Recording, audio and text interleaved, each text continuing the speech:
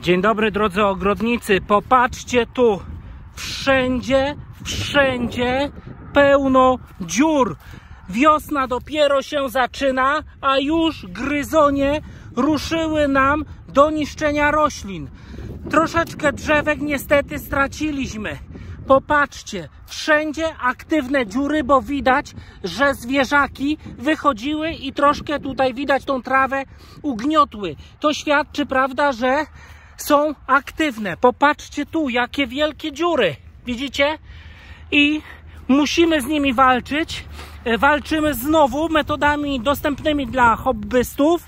Jest to nic innego jak karbit.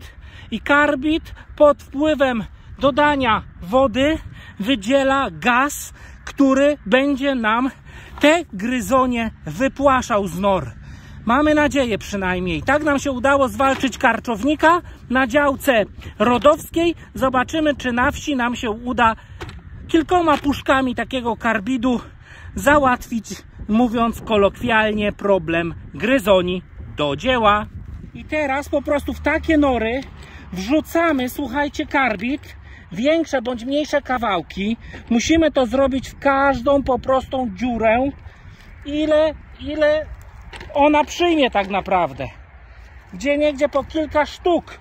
Tutaj się nie ma co, słuchajcie, przejmować.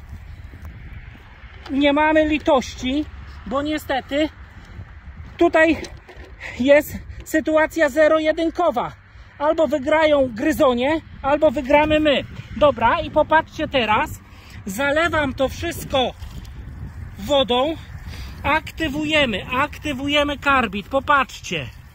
I od razu nam pokazuje, o, gdzie te nory przebiegają. I teraz motyką czopujemy, o, otwory, żeby gaz dostał się do środka. Popatrzcie. Ugniatamy i niech ten gaz o, idzie do głębszych części nory.